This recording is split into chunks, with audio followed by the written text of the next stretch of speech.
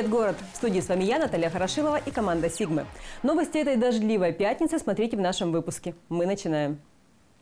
Движение вверх показывает наш регион во всероссийском рейтинге по числу суточных заражений. К сожалению, есть и случаи летального исхода. Оба в Новом Уренгое. Подробности ситуации с коронавирусом в регионе и не только расскажем в нашем сюжете.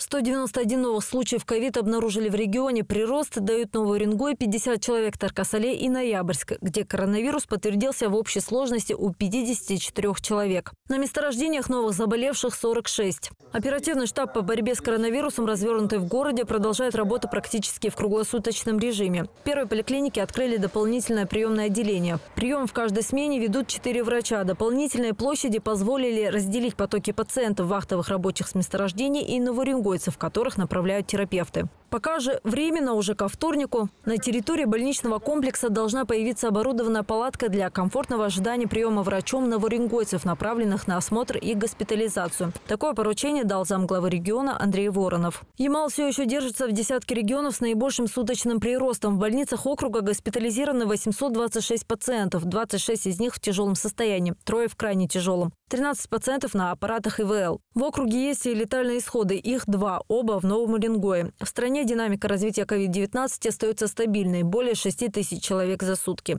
Мы продолжаем следить за ситуацией в стране. В округе Лала Гасанова, телерадиокомпания «Сигма» для НУР-24. На этот раз общественники во главе с заместителем губернатора Андреем Вороновым посетили микрорайон Восточный, где сейчас строят детскую поликлинику.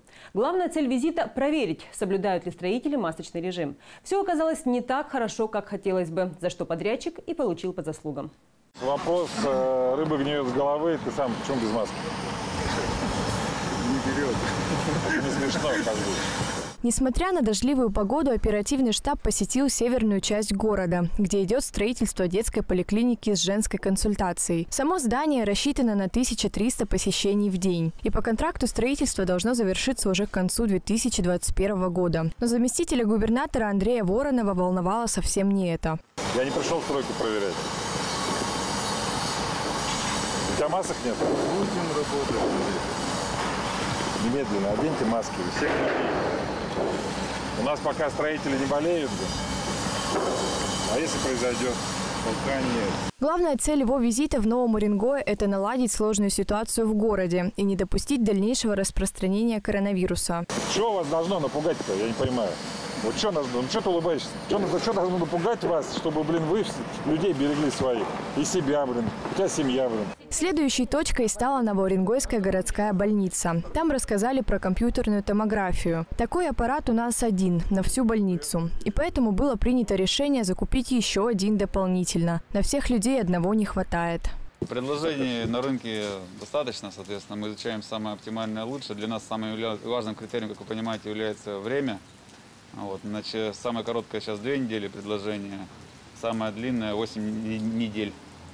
Вот. э, В принципе, все модули достаточно адекватные, адаптированы даже к условиям а, Арктики.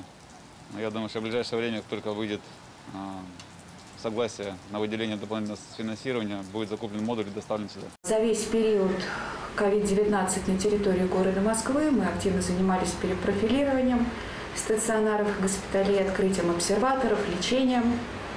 Поэтому опыт, который мы накопили за э, те три месяца на базе Москвы, мы готовы э, поделиться с вами здесь. Ситуация, конечно, здесь на данный момент э, пока еще неоднозначная. Хочется отметить, что, к сожалению, социальной ответственности среди населения мы активно не заметили. Масочный режим среди населения не соблюдается. Также врач добавила, что население относится к происходящему без должной ответственности. То ли не верят в коронавирус, то ли относятся поверхностно. Пока сама Полина Ваганова это еще не поняла. Но в любом случае медики работают в авральном режиме. И это огромная нагрузка для них, как моральная, так и физическая. При этом они не теряют бодрость духа. Вероника Самошкина, Андрей Тихонов, телерадиокомпания «Сигма» для НУР-24. 3 июля Андрей Воронов также встретился с прибывшими в Новый Уренгой представителями Департамента гражданской защиты и пожарной безопасности округа. Им предстоит в составе регионального штаба провести работу по нескольким направлениям. Это контроль за въезжающими, составление протоколов за нарушение масочного режима и работа с обсерваторами, которые находятся на территории города. Новоренгойцы уже, конечно же, обратили внимание, что вокруг центральной городской площади появилось железное ограждение. А на самой территории идут строительные работы. Впервые за всю историю Нового Уренгоя там проведут глобальную реконструкцию. Что появится на площади уже этим летом, расскажет Вера Баранова. Уже к концу лета центральную городскую площадь будет не узнать. Строители установят новые опоры освещения и заменят покрытие. Вместо привычного асфальта здесь появятся специальные гранитные плиты, подготовленные к ямальским морозам. Размер их 600 на 600, толщина 8 сантиметров. Так что зимой на площадь сможет спокойно заехать тяжелая техника для уборки снега, и гранит не повредится. Скользко тоже не будет. Плитка не полированная и термообработанная. У материала шероховатая поверхность. Подобной практики еще никогда не было в городе городе. Подрядчиком реконструкции выступил Уренгой Дорстрой. В этом году только сама площадь 7300 квадратов. Э, замена, вот мы сейчас проводим фрезерование основания, потом дел, подготавливаем основание под плитку и начинается монтаж плитки. Перед этим также будут выполнены работы по прокладке кабельных сетей, молоточных сетей, э, для того, чтобы э, без проблем можно было в зимний период елки подключать, какие-то музыкальное оборудование, чтобы уже не тянуть провода, будет удобно, в каждом месте подключился и все. Идея обновить площадь родилась еще два года назад. Тогда даже провели конкурс на лучшие предложения от горожан. В итоге из предложенного отобрали самое интересное. Проект серьезнейший. Это сердце города. Подрядчик надежный. Нам в этом плане повезло. Э, по большому счету все глобальные проекты, которые велись в городе по комфортной городской среде, выполнялись именно Уренгой Дорстроем. Поэтому каких-либо опасений, что будут срывы, либо еще что-то у нас нет. Проект реконструкции включает два этапа строительства. Сейчас ведется первый. Его планируют завершить уже через три месяца. На объекте работает 17 единиц техники и 34 рабочих. Дважды в день им измеряют температуру, строгий контроль за дезинфекцией и ношением масок. У нас на сегодняшний день э, на предприятии приказом введен масочный режим. Мы стараемся больше уделять внимание, э, чтобы именно смотреть за здоровьем людей, потому что ну, действительно бывает заболевают. И нам сейчас это нельзя, потому что объемы очень, так сказать, э, амбициозные. Амбициозный не то слово. На втором этапе строительства здесь появится павильон для торговли, прогулочная зона, лавочки, беговые и велодорожки. Украсят обновленную площадь арт-объект, светящаяся надпись «Новый Уренгой», а также различные фигуры, символизирующие наш край. Первый этап – это непосредственно центральная площадь. И вторая – это перемычка от 26-го съезда до сопряжения с, этой вот, ну, с первым этапом. Второй этап планируется проводить конкурс, я думаю, наверное, начало следующего года. А, скорее всего, сейчас есть э, ряд вопросов и предложений от жителей города. А, скорее всего, будут еще раз проводиться общественные слушания. После этого, может быть, возможно, какие-то коррективы по существующему проекту. Первое пожелание новоуренгойцев уже услышали. Позаботились о сохранении деревьев. Вырубать их не намерены. Вербаранова, Андрей Тихонов, телерадиокомпания «Сигма» для НУР-24. На сколько процентов вырастет коммуналка и на что пойдут деньги от повышения коммунальных тарифов? Разбираемся в новостях ЖКХ. И все-таки они вырастут. Коммунальные тарифы на Ямале с 1 июля повысятся на 4%. Хотя на федеральном уровне всерьез обсуждали заморозку цен на услуги ЖКХ. Видимо, посчитали, что заморозка тарифов в Арктике – это безнравственно. Людям и так холодно, поэтому цены на воду, газ, отопление и вывоз мусора решили подогреть. По сравнению с некоторыми регионами мы легко отделались. В Москве, Якутии и Омской области коммунальные услуги стали на 5% дороже. Чечне на 6,5%. Самая маленькая индексация в Ненецком автономном округе. Эти деньги могут потратить на умные счетчики. С 1 июля в наших квартирах не везде, но выборочно начнут появляться приборы учета, которые будут сами передавать показатели на серверы управляющих компаний и ресурсоснабжающих организаций. Устанавливать их будут поставщики ресурсов, вроде как на собственные деньги. Отвечать тоже они, но обольщаться по этому поводу не стоит. Стоимость приборов и проценты по кредиту на их покупку наверняка лягут в тарифы следующих лет. То же самое будет касаться водяных и газовых умных счетчиков, которые начнут устанавливаться в перспективе. Умные счетчики – часть глобального плана по цифровизации системы ЖКХ. Как сообщают «Известия», по инициативе Минстроя все данные о многоквартирных домах занесут в государственную информационную систему. Это и техническая документация на строительство и реконструкцию, и места, где хранятся ключи от общего имущества, электронные коды доступа к оборудованию. Управляющие компании могут обязать регистрировать заявки на услуги в цифровом формате. Новые меры помогут снизить уровень коррупции в коммунальном хозяйстве. Может быть. В Новом Уренгое продолжают промывать сети холодного водоснабжения. 6 и 7 июля работы будут вестись в микрорайоне Дружба, 8 и 9 в микрорайоне Советский. Следите за стендами объявлений в подъездах ваших домов, где обязаны сообщать точную информацию об отключениях. Ну а мы остаемся подключенными к вашим проблемам. Сергей Рунько, телерадиокомпания «Сигма» для НУР-24.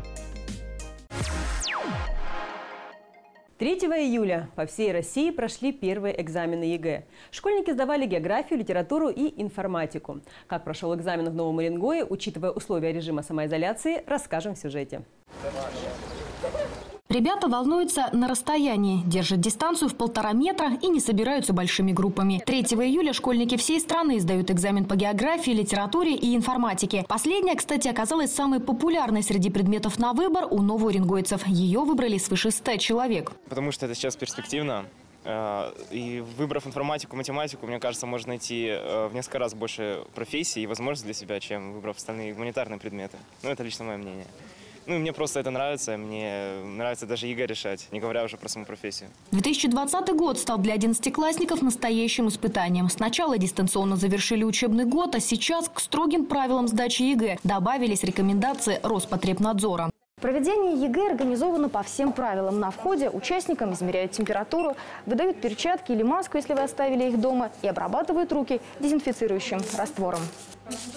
Известно, что электронные бесконтактные градусники иногда ошибаются. На этот случай здесь заготовлены обычные ртутные термометры. Рядом дежурит врач. Если у школьника выявят повышенную температуру, его тут же определят в обсерватор, отдельный кабинет, чтобы не было возможности контакта с другими ребятами. Если доктор подтвердит ОРЗ или ОРВИ, ученику выдается специальный документ, позволяющий сдать ЕГЭ в другие дополнительные дни. Впрочем, в Новом Уренгое сегодня эта мера не понадобилась. Все прошло без неожиданностей. Я очень благодарен и педагогическим работникам, которые э, изменили сроки пребывания в отпуске и подстроились под э, режим проведения единых государственных экзаменов. Мне бы хотелось пожелать всем удачи, успехов и э, хорошего прохождения всей поры сдачи экзаменов. По традиции школьники прошли через металлоискатель и сдали свои мобильные телефоны. В кабинетах ребят рассадили особым образом. Не более 10 человек в аудитории. Парты расставлены на расстоянии полутора метров. При регистрации ученик сам разворачивает страницы паспорта, контакта с педагогом нет. В коридорах кулеры с одноразовыми стаканчиками. Мы как педагоги готовы провести этот первый экзамен на высоком уровне.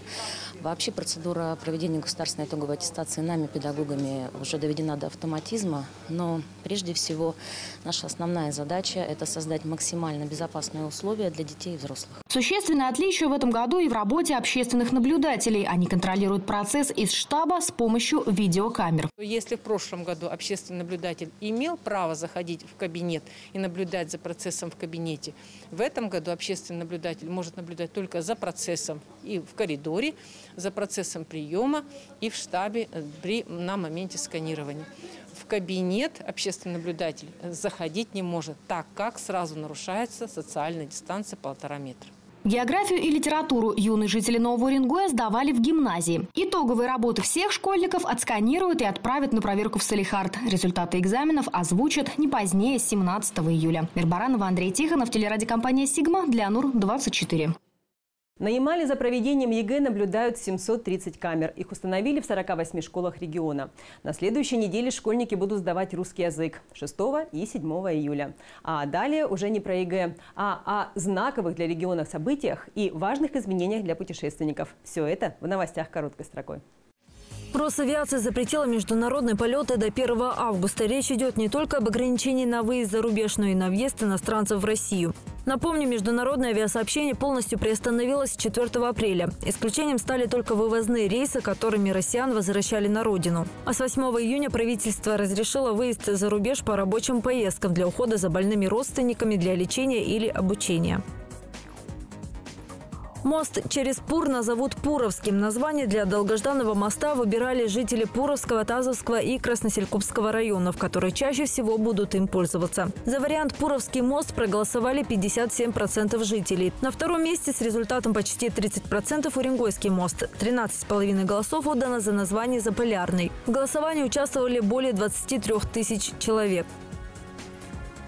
Бурые медведи на Ямале все охотнее идут на контакт с людьми. Фиксируют это в любительских съемках северяне из разных городов региона. Нашу редакцию тоже прислали занимательное видео. Новоуренгоец заснял встречу с парой косолапых, которых встретил по дороге Новоуренгой Пангады. Косолапые агрессию не проявляли, а только любопытство.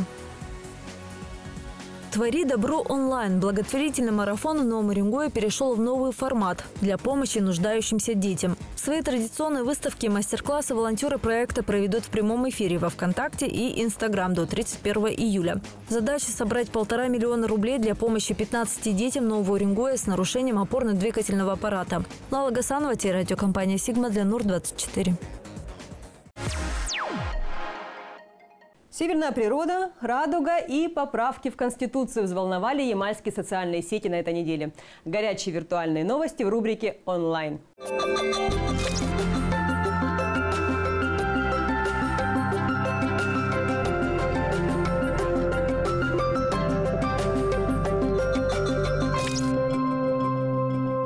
эту среду виртуальный Ямал разделился на два лагеря. Одни записывают возмущенные истории, другие скромно постят бюллетени с галочкой в графе «Да». Как говорится, у каждого есть право на свое мнение, если оно выражается в рамках закона, конечно же. Кучу лайков собрали на этой неделе фото Новоренгойской радуги. И видео, кстати, тоже. Кое-кто не поленился и записал таймлапсом. Спасибо Таис Гордеевой за шикарное видео.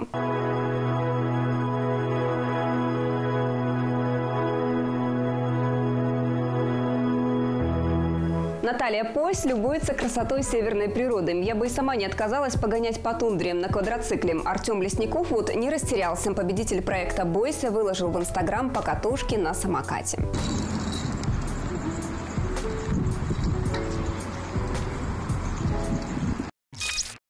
Яна Врублевская в рубрике онлайн еще не появлялась. И даже удивительно, почему. Яна любит печь и выкладывает в своем профиле кучу вкусных рецептов. Техасские булочки, хлеб пита, печенье с пармезаном, заливные пироги. Все это вы тоже сможете приготовить, если подпишетесь на Яну.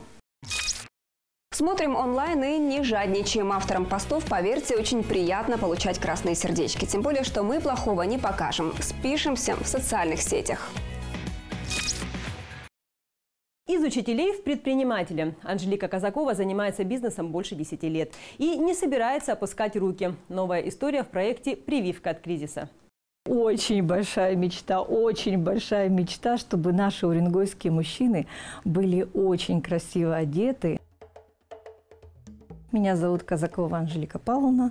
Я владелица магазинов «Примадонна», «Дольче Вита», «Дон Жуан», где мы сейчас находимся, и бутика в деловом центре «Малкер», «Красота и роскошь». В прошлом я педагог, но в 90-е годы было очень сложно, все как-то находили себя, и я нашла себя в торговле. Первая эмоция – это была шок – отрицание. Я, конечно, не думала, что нас закроют на такой долгий период. Но потом я решила взять себя в руки, потому что за, моими, за моей спиной стоит коллектив. Мы начали импровизированные показы. В общем, как-то мы вот так начали продвигать через интернет. Конечно, у меня была такая мысль, паника была, я честно признаюсь, по поводу сокращения. Но вспомнив свой коллектив, я поняла, что распустить это можно за один день. Но набрать такой замечательный коллектив я уже, наверное, не смогу. Мне не положена никакая помощь от государства. Э, единственная помощь, которую оказали, это дотация на выплату заработной платы. Но я привыкла всегда надеяться только на себя – и думаю, что, наверное, есть люди, которые более нуждаются. Так как у меня все магазины в собственности, мне в этом смысле очень-очень повезло. А в деловом центре мне пошли навстречу, и нам, конечно, снизили а, выплату арендной платы. Нужно всегда иметь подушку безопасности, это точно. По минимуму влазить в кредиты и, конечно, развиваться, обучаться, идти вперед. У меня заказана новая осенняя коллекция. Буду продавать. Когда сидели дома, соскучились, это даже какая-то моральная душина сходить в магазин. Вот что-то это все нужно, нужно для даже эмоционального настроения всех. И у меня все новости к этому часу. Передаю слово в соседнюю студию моей коллеги Любови Ломака. Она расскажет вам сводку криминала и происшествий за сутки. Не болейте, соблюдайте социальную дистанцию и берегите себя. До встречи в эфире.